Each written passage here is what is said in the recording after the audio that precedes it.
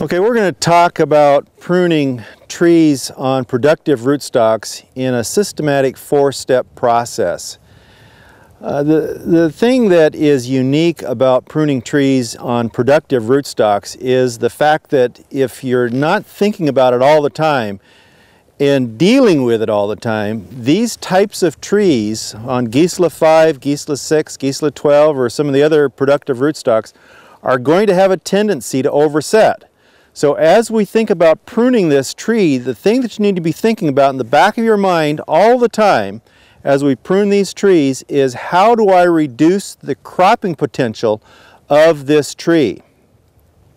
So if, if we look at this as a four-step process, one of the first things that we need to be thinking about is how do I reduce the current season's or the next season's cropping potential on this tree? In order to do that, I've got to remove some of these future flowering buds and these spurs. By doing that, I'm also going to be renewing this branch and growing a new branch in the place of this large branch right here. What that'll do, it will give me the opportunity to grow a smaller branch here, but it will also renew my spurs. The best quality fruit is going to be grown at the base of last year's growth and on young spurs. If I have old spurs, spurs that are six, seven, eight years old, I will have smaller, inferior fruit. And so I need to be thinking about that all the time as well. How do I renew the cropping potential on this tree and keeping the spurs young and productive so that I grow the highest quality fruit possible? Okay, this is a good example of a tree that is starting to get into some problems here. You notice that there are some, some big wood up here in the middle section of this tree. In fact, what's happening is that the lower branches are actually weaker than some of these middle branches here. So we need to deal with that.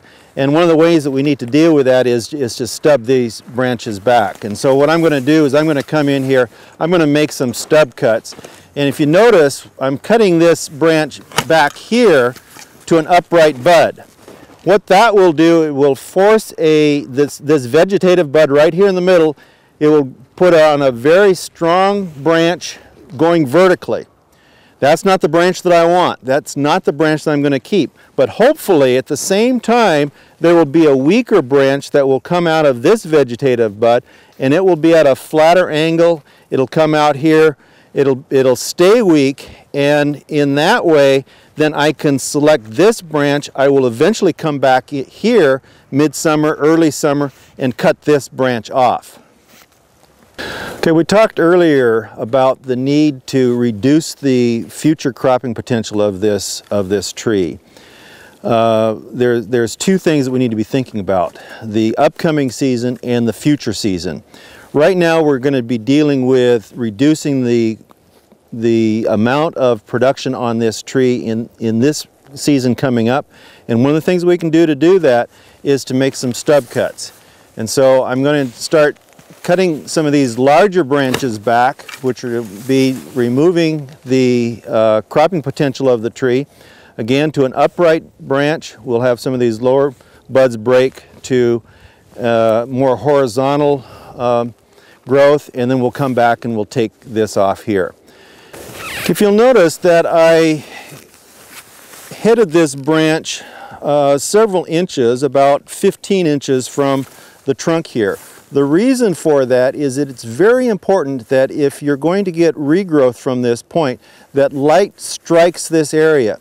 If I were to come back in here and make the cut right here, this might be in too much shade and then this stub would just die.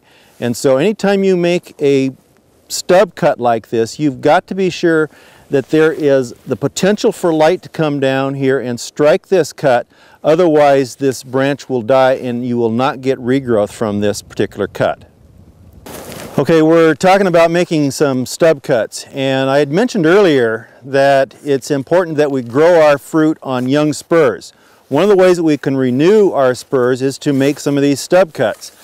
And if I come back here and I make some more stub cuts here, I'm eliminating some old spurs gives a chance for a new branch to come out of this, out of this old stub here. and we'll have, we'll have younger spurs come from that area. So if I think about this, this whole concept of young spurs, I don't want any spurs that are over five years old, which means that I need to be renewing one-fifth of my tree every year. So that means that these stub cuts that I'm making right now need to be made throughout the entire tree and I'll be stubbing back about 20% of the branches every single year in order to keep my uh, spurs less than five years old. In the top of this tree we've got a couple of, of large branches. One of the things we need to be careful about anytime we're dealing with a cherry tree is the overgrowth in the top of the tree. Cherry trees tend to be dominant in the top of the tree and we're seeing that that right here where we've got a branch that is greater than half of the width of the of the corresponding trunk at this point. And so we're, we, we have got to deal with this branch. Otherwise it's going to shade out everything down below and everything down below is going to start getting weak. And so there's two things we can do. We can come back here like we have been doing and pruning to an upright bud like that, stubbing that back. Hopefully we'll get a weaker branch coming out of that. But in reality, this is already a too, this branch is already too strong up here.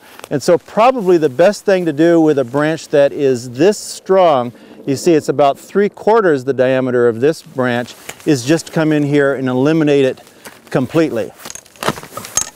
Now notice that I just made this a flush cut here and I'm from the arid areas of the west and so this is the type of cut that we would make in the Pacific Northwest, in the drier areas of the Pacific Northwest.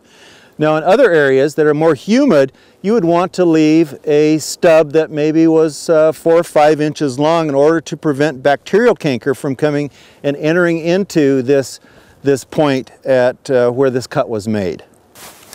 Over here, right next to it, I have another branch that is getting to be too strong, and it's about that half the diameter that we were talking about earlier, but it's not quite as strong as the branch that we just eliminated. And so I'm going to stub it back and we'll keep that one because I think we, we can grow uh, some weaker wood off of that and preserve some of these branches down here a little bit lower and keep them from getting shaded out.